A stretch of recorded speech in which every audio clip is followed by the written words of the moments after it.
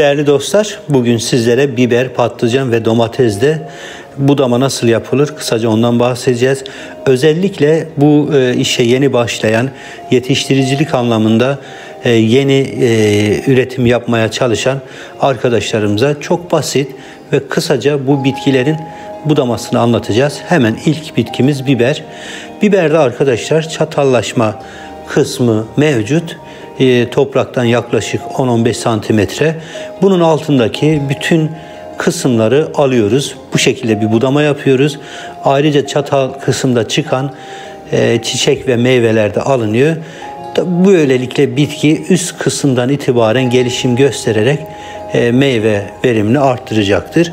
Bu şekilde arkadaşlar e, topraktan yaklaşık 10-15 santimetrelik kısmının altında bulunan yani çatal kısmının altında bulunan bütün e, yaprak, sürgün, meyve ve çiçekler alınarak bu şekilde bir budama yapılır. Ve domatesde budama. Domatesde de arkadaşlar budamanın esası koltuk alma.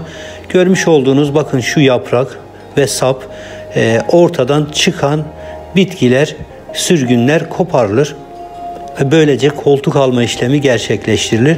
Domatesde bunu mutlaka yapmamız gerekiyor.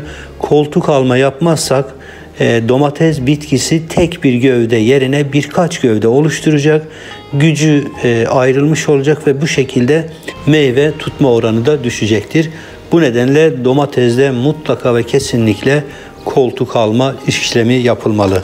Patlıcanda da arkadaşlar aynı şekilde yine biberde olduğu gibi e, topraktan 10-15 santimetre yükseklikteki e, kısımda bulunan bütün dal ve sürgünler, çiçekler alınır ve bu şekilde e, bir budama gerçekleştirilir.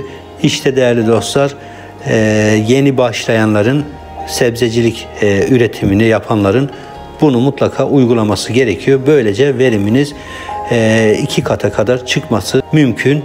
Hepinizi saygı ve sevgiyle selamlıyoruz.